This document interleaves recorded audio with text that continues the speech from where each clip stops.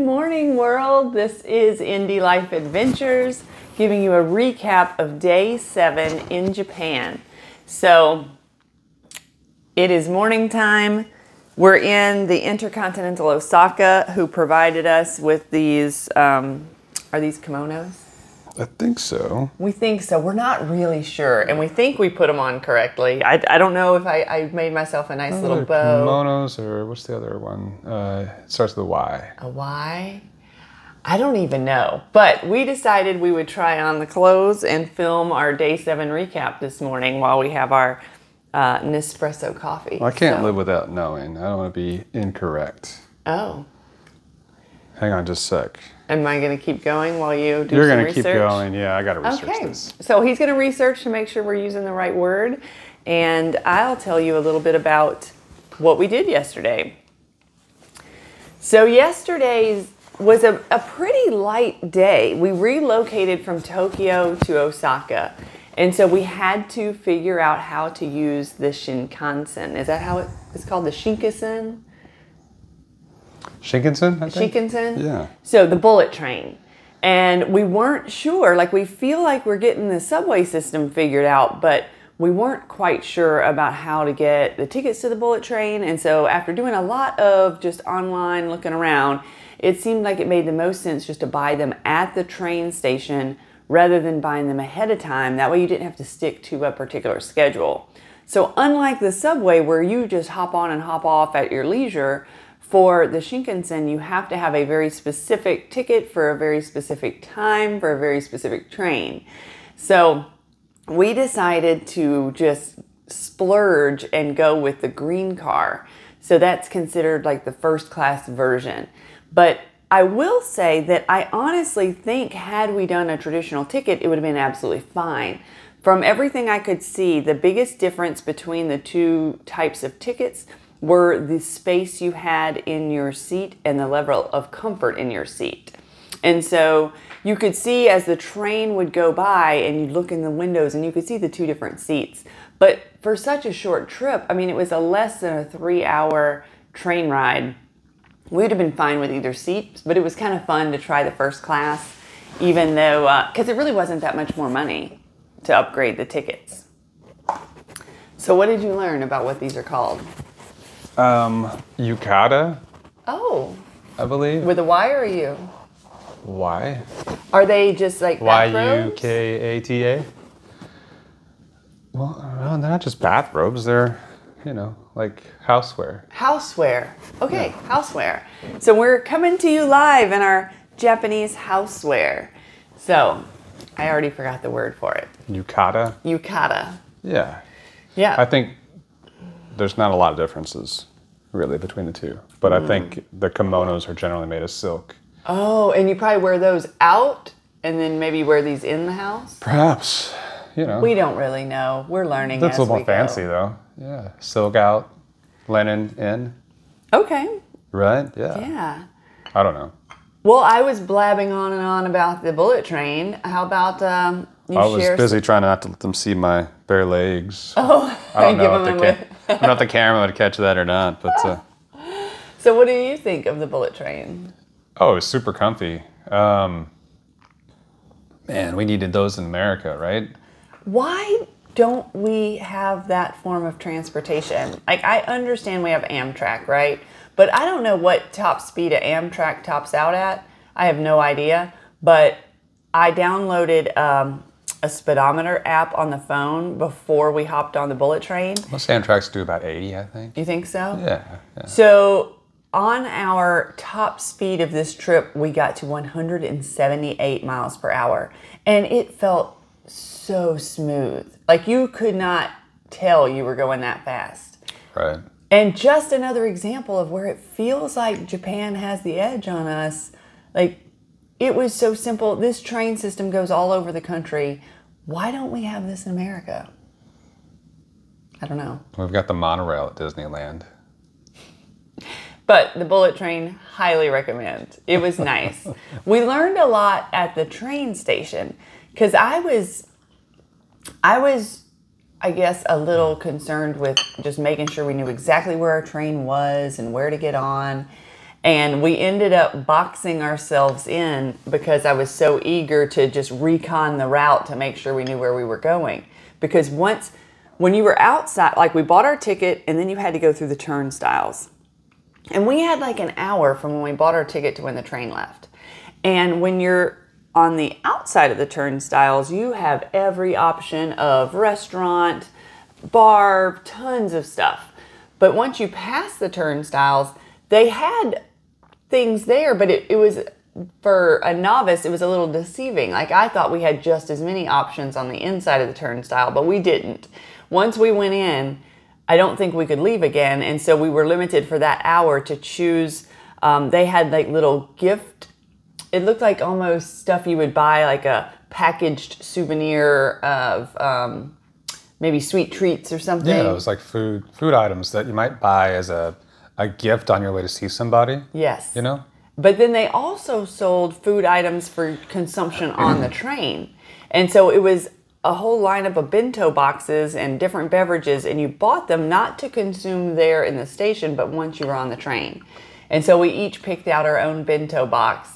Um, no idea what this stuff was we were eating. No idea. I mean, we probably could have looked and it would have told us a little bit. Because it almost was like when you get a Valentine's Day chocolate box and you would think on the yeah. inside it would tell you what each of the items were because you opened it up and it had all the compartments of the different types of things, but no idea what we were eating. Some of it you could tell it was chicken or fish or acorn squash or a mushroom, but so much else you're like, I don't know what that is. Uh, pickled this and Yeah. pickled that. and the boxes were cold. Yes. Um, but they didn't. I don't even know if they were refrigerated. Like, it's so hard. Yeah, I don't know. So I we're eating chicken and fish that may or may not have been refrigerated that we hung on to for well over an hour before we got on the train to consume it. But I just went with it and trusted that the Japanese have all this figured out. If it's good enough for them, it's good enough for me. And I devoured mine on the train. Um, Nick, Nick was a little more picky about what he chose to eat. And I was so full because I, I hate to waste food. And uh, I would have eaten the rest of his too, but I was so full. I ate a lot of mine. Yeah, at least half. Yeah. And I tried a little bit of everything, Yes. minus the seaweed surprise. Yeah, I tried the seaweed surprise, and I don't know what that was. It was like a little folded envelope of, of seaweed that had something in it, It was probably like squid guts or something. probably. I, I ate it. It was a little strange, but not nearly as bad as the shad gizzard sushi I had. Nothing has been that bad yet. And not that it tasted that bad, it was just such a weird feeling in my mouth. So, so yes, so we're on the bullet train. Just like all the subways, it's so quiet. So quiet. And uh, We did, we, we upgraded our tickets. we did. So we got to sit in the green car, and um, that just means you get a little bit more leg room And there was a substantial amount of leg room. and a few less people, right? So I think instead of having like maybe four on each side or three on each side, it's yeah, I it's think the two on each standard side. Car is three seats, an aisle, and two seats. okay. And for the green car, it was two seats, an aisle, and two seats. And then there also was a uh, attendant who sold merchandise up and down the aisles where Oh, you yeah. could buy drinks. I think it was just drinks that you could buy.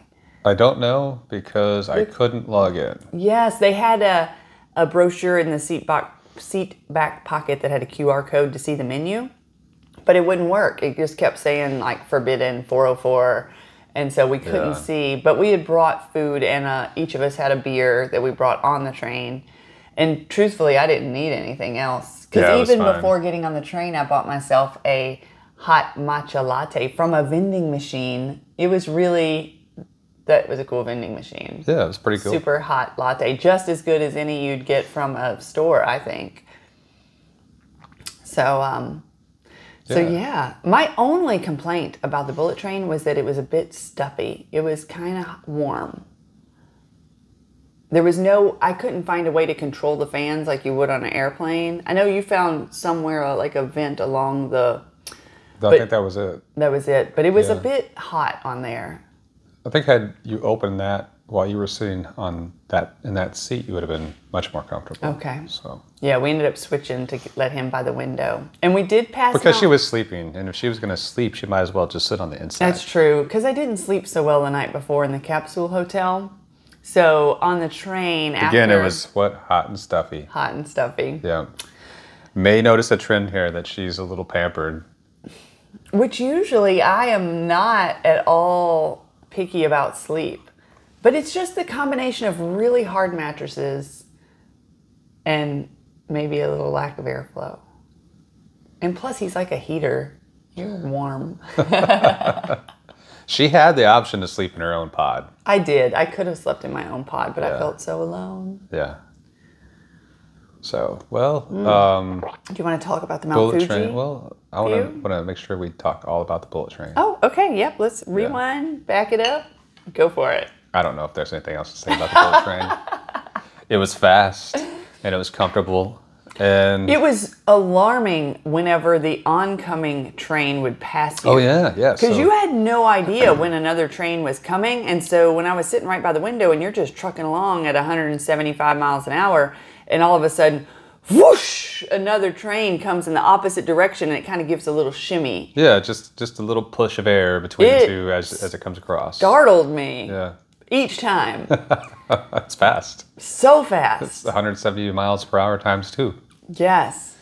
And then just seeing the countryside out the window, we did see some boat marinas. Yeah. yeah. Yes. Because that was um, missing from Tokyo Bay when we did our walk to teamLab Planets.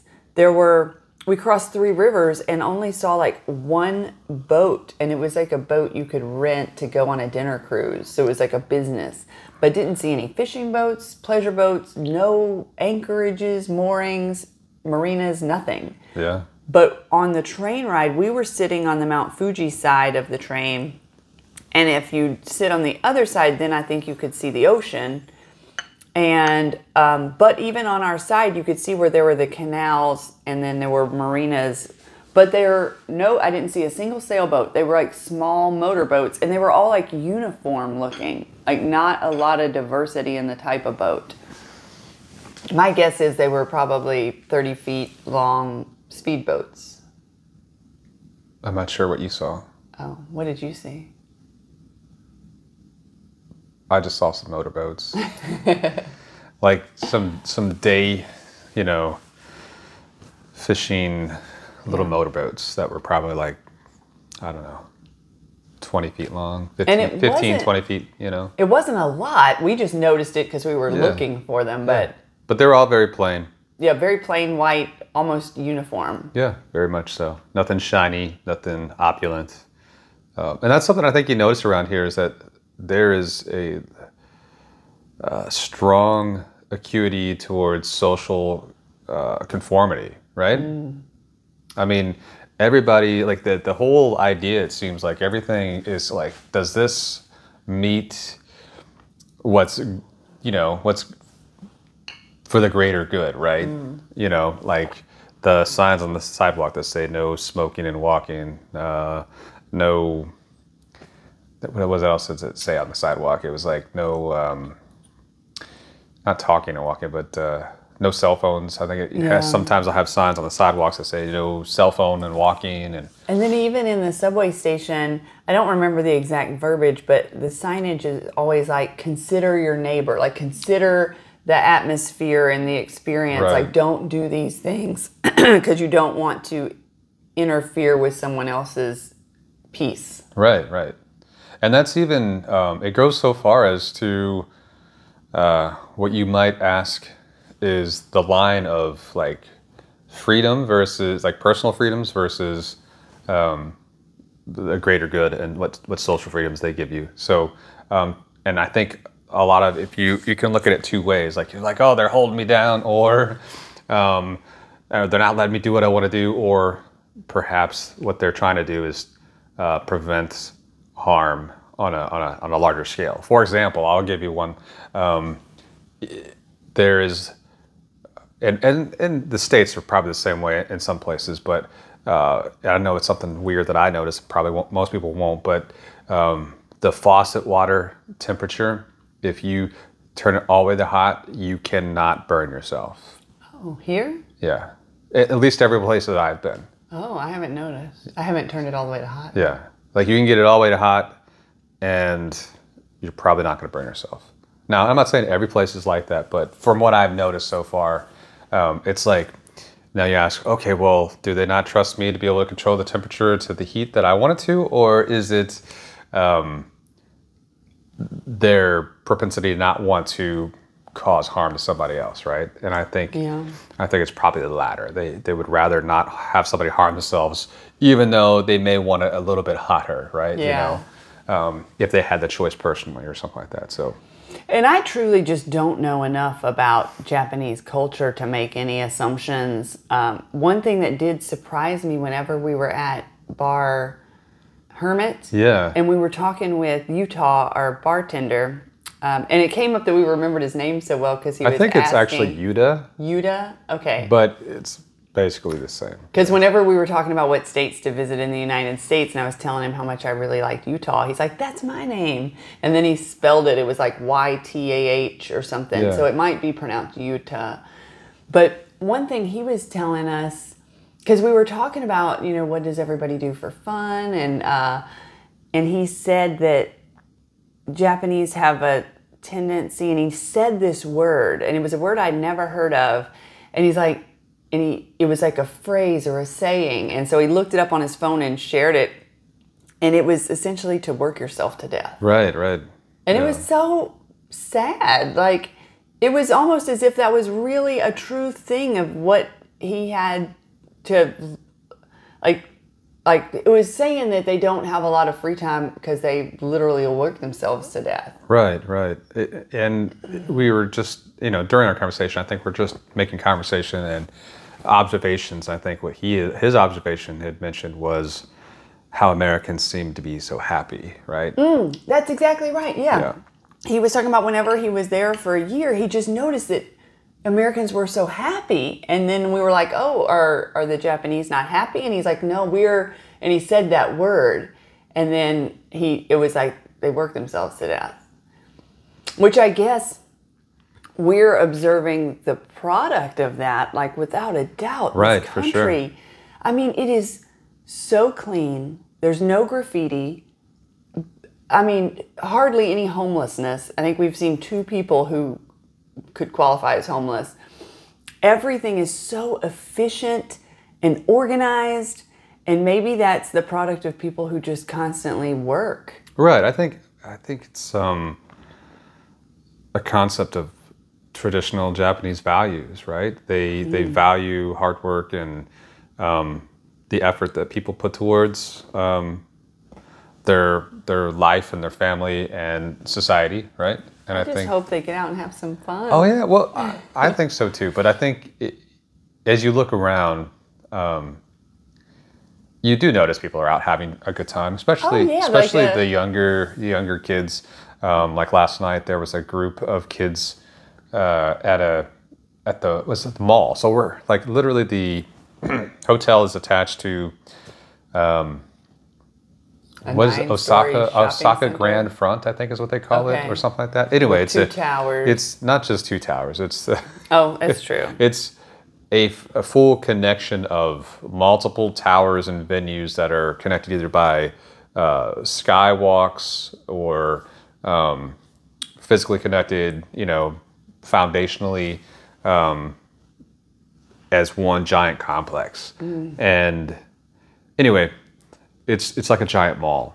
Um, so we're in a very uh, large commercial area Oh, yes. and it it's not as sprawling as you see in like America where everything's just very big and, and wide open. Where you drive to all the stores. right, and you Here, drive you to open. walk you to walk to them, and then everything's stacked on, you know, floor after floor after floor after floor. So And basement. yeah, and too. basements. Like we, you get pretty far because a lot of those basements connect to the subway.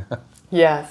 And it But- was funny because we were going out last night just to kind of look for a bite to eat. oh yeah, yeah. And I don't even think we went a full block. No. And we probably have, I mean, I don't think I'm exaggerating if I say there's 50 different food options to choose from mm-hmm. within a block. Yeah. Because when you add up all the food options on nine stories up, two stories down, and within just a little bit of walking space, like there's so many options. And the one American business, because we've seen lots of the like, we've seen McDonald's, Burger King, Subway, Wendy's. KFC, Wendy's, um, Domino's Pizza Yep. Yep. not a lot of them, but a little of them. But the one American business we have seen over and over and over, which I would think is probably the most popular American business here, is Starbucks. Starbucks. There are Starbucks everywhere, but there's also tons of Japanese coffee shops. So by no means does Starbucks have a corner on the market, but they are the most prevalent American company I've observed. Right. Yes. Yeah. but kids having a good time we were when we were looking for something to eat we ended up deciding on burger king Right. So, you know, uh, every once in a while you just need a little taste of home, right? yeah and I was hungry and I didn't want to. It was at the point of time at night I, we needed to get back and we needed to um, get the other couple videos done. And I was like, I didn't want to stop in a place and wait and order and just, you know, spend time. So I wanted to get something to eat and be able to move on. So uh, there was McDonald's on one floor, and then the Burger King was on the same floor that we had come up to. So we just walked over to the Burger King. Now, as we walked out, we noticed that there was some commotion going on. oh a bit of commotion yeah, yeah. So it was like a um, a girl band, right? yeah they were having live music in like the courtyard with a stage and like a whole production and four young girls like i bet they must have been what 15 16 i don't know I don't know. They were teens. Yep, all dressed the same in like this very elaborate white beautiful outfit doing song and dance routine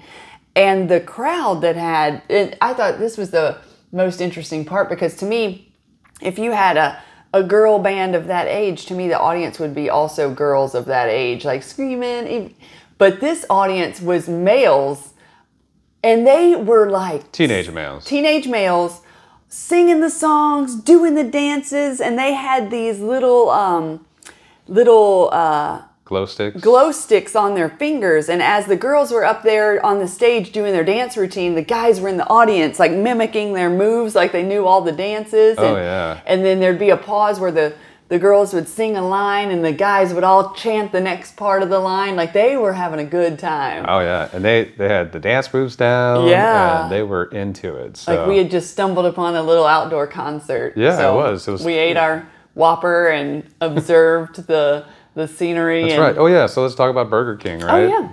Yeah. So as we were eating and watching our uh, live entertainment, um, what what did you you got a um, I wasn't Junior near, Whopper, right? Yeah, I wasn't nearly as hungry because I'd eaten so much of my bento box. So I got what appeared to be like a Whopper Junior, but with mushrooms. yeah uh, yeah that's what it was. Mm-hmm. And then I got something like a it was a Nika spicy Nika burger or something like that double. Yeah. But it wasn't even like because on the menu they have the one pounder. Right. So it wasn't that one, but it No. was still humongous, like Yeah. a very large hamburger. And so I, I don't know exactly what came on it. Um, it was good. It had, man, it was like a sauce. It was really saucy um, with like spice. So I think it was like a sriracha chili sauce with some sort of crunchy chip like thing that they had sprinkled on top of it, smashed onto the rest of the burger. I wouldn't say smash, but. Um, but it tasted like a Whopper. yeah, it did. It, know? mine tasted just like a Whopper Junior. The French The fries, were exactly the, the same. fries were exactly the same. Yeah. Um, but yeah, it was just a little different take. Little, really kind of like a messy burger, but um, but overall it was pretty good. I took a bite of his burger. It was spicy. I was like, "Oh, you're gonna have heartburn." Yeah, it hit the spot really because I was just needing some something fast and easy, and and I had picked at my meal, my bento box. So and I, like I said, she's what I ate. I ate about half of it, and I tried every little piece of the bento box, but it just didn't stick with me. And besides, sushi doesn't stick with me very long anyway. It's like you eat sushi, and an hour later you're hungry again. So anyway, um, yeah, that was Burger King. So we decided we'd head back to the hotel so we could get um, started on our videos, right? Yeah, trying to play catch up now that we've got such a nice room. Yeah. Oh, and speaking of which, before I forget, um, if you watched the last video, you'll notice it just abruptly ends. Oh, yes. and uh, that's okay. I think what happened was you may be wondering if whatever was outside got us.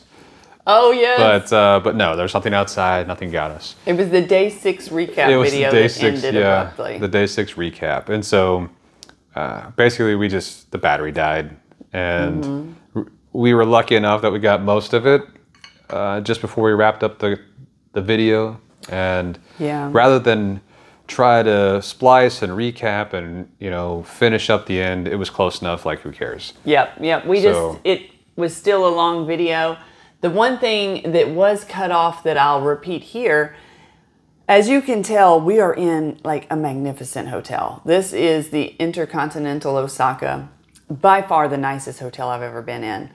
And the previous night we had been in the capsule hotel, which was essentially uh, it felt like uh, they had built capsules out of plywood. And so now having the juxtaposition of the two lodging arrangements back back back to back like makes me appreciate this one so much more. And so uh, I'm definitely glad we stayed at the hostel, and I do think it was um, perfect timing to have these two lodgings be one after the other. Yeah, yeah. The the hostel was great um, for what it was. Oh yeah, And I don't know. I would still think that at some point we should really try a true capsule hotel.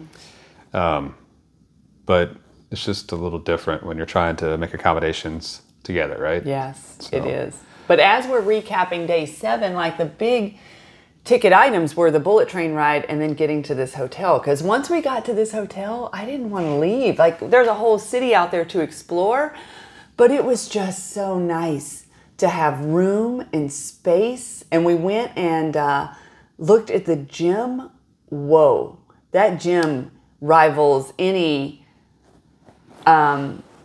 I mean, hell, even some paid for gyms. Like this, I mean, it has everything you could possibly imagine, along with the swimming pool. I'm not going to say it's Olympic size, but it's a big, huge swimming pool with lanes. There's the hot tub, then there's a whole nother section of like the Japanese baths. And all Right. of this is just complimentary with our room. Yeah. So today, uh, after we go down to the buffet breakfast, we really want to try out some of these amenities and also find some time to get out and see Osaka because um, Osaka Castle is nearby. And Luckily, we have a few days while we're here. Yes. To so we have today and we have tomorrow. We don't have to check out until like four o'clock tomorrow, right? yeah, we get to have a late checkout. Um, not even tomorrow. We have one more night. Really? We get to sleep here three nights. So we slept here last night, tonight, and tomorrow night we'll sleep here. Oh wow. So yeah, we are staying here. Yeah. So we have a few more days. So Oh. that's nice. Yes, like I'm just thrilled to experience the hotel. And even yesterday, we went to happy hour on our way. Um, whenever we left, we went to happy hour, which they have in a very, very nice hotel bar. And we just had one cocktail before going out and finding something to eat. Yep. And uh, but no, I am so comfortable here, and don't feel the urge to just race out and go see the city. Like I think we'll find a manageable pace here because truthfully, after spending so much time in Tokyo, I'm shopped out, restauranted out, drinked out, like just relaxing, going to use the gym, the sauna, the hot tub. Like I'm looking forward to just chilling. She needs some spa time.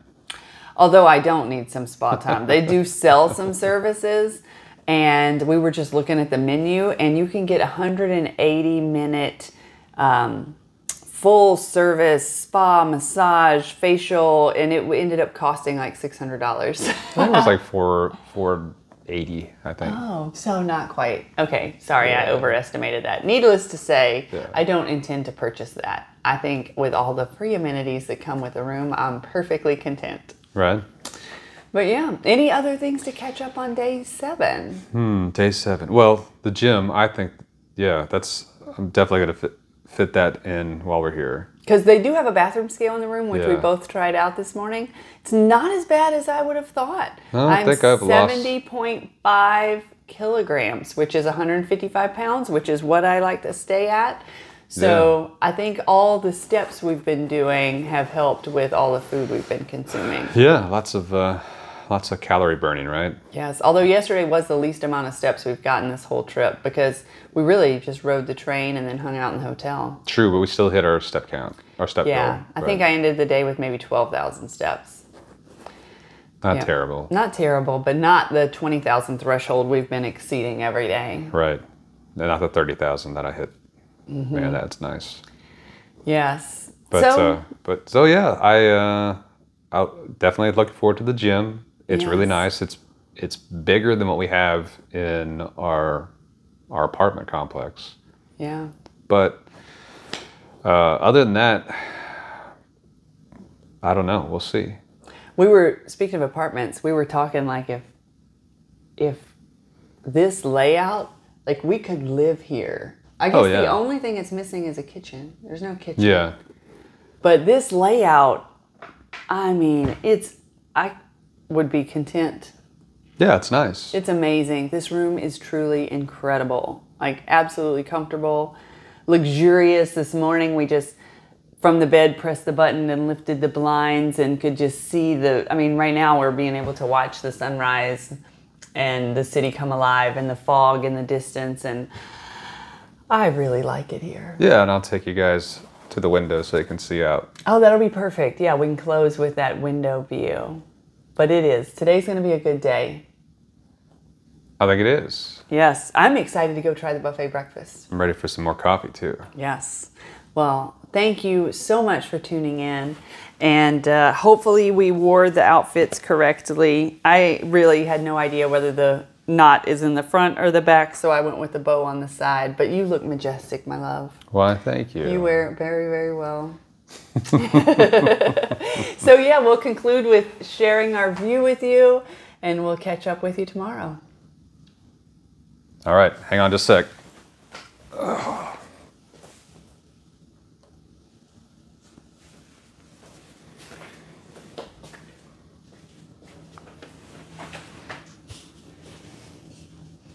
And that is the view. There's the Ferris wheel. You're gonna catch a glare of the sun probably, but uh,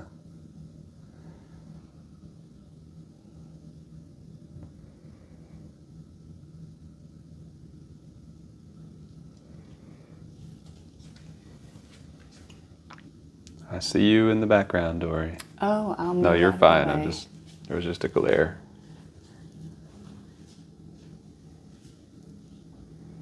It's just beautiful.